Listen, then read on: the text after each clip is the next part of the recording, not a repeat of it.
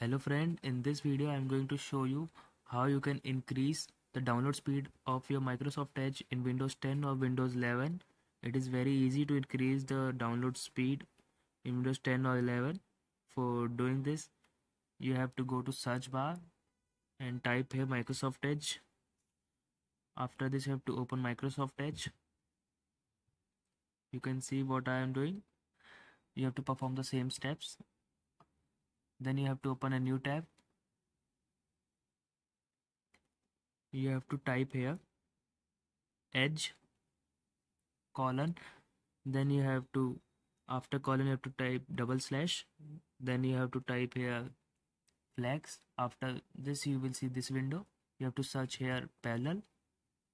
You will see parallel downloading option here. I have already enabled it. You will see here default you have to change this default to enabled. After enabling it you have to go to right side on the three dot menu button of edge and click on settings. After clicking on the setting option you will see on the left side system and performance option. Here you can see on the right side continue running background extension and apps when microsoft is closed. This setting you have to turn off it will be turned on in your Microsoft Edge. You have to turn it off. And also you will see use hardware acceleration when available.